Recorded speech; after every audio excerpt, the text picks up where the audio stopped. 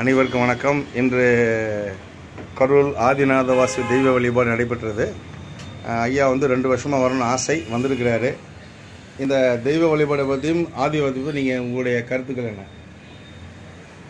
மனசு ரொம்ப லேசாக இருக்குது கற்றுட்டதுக்கப்புறம் நிறைய பாரம் அப்படியே குறைஞ்ச மாதிரி இருக்குது அந்த மூச்சுங்கிறது அது வெளிப்படையாக ஆரம்பிக்கிறப்ப அதிகமாக இருந்துச்சு அந்த இது. இப்போ வந்து மூச்சு அப்படியே உள் சுவாசம் மாதிரி இருக்குது உணர முடியுது என்னால் அந்த இது. சரி இப்போ நான் வந்து மூக்கில் காற்று வரல. கரெக்டா ம், காத்து சரி காற்று வெளியே வந்தால் இறப்பு. இறப்பு. உள்ள போன வாழ்வு. தெரிஞ்சுதா? வாசி தெரிஞ்சுக்கிட்டீங்க சரி.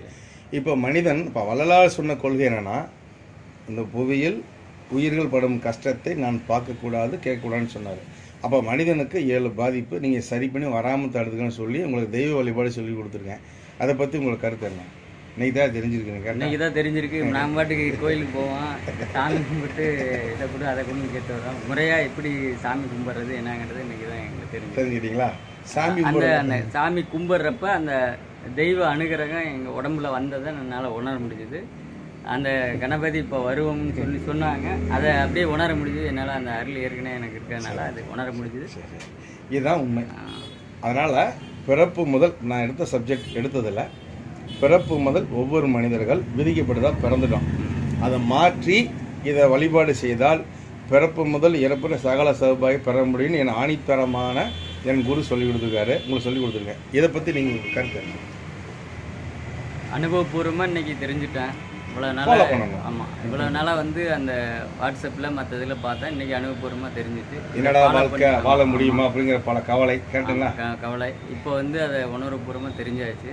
இனிமேல் நடைமுறைப்படுத்துகிறப்ப அதை நம்ம அதிக அளவில் நம்ம பலனடை. இந்த வித்தையை சொல்லுங்கள் இந்த வித்தையை சொல்லிக் கொடுத்த ஐயா அவர்களுக்கு ஆதிநாத மகரிஷியின் பொற்பாதங்களை நாங்கள் வணங்குகிறோம். ஆதிநாத மகரிஷி பொறுப்பாதங்களை நான் வணங்குறேன். என் குடும்பமே வணங்குதான். சரி.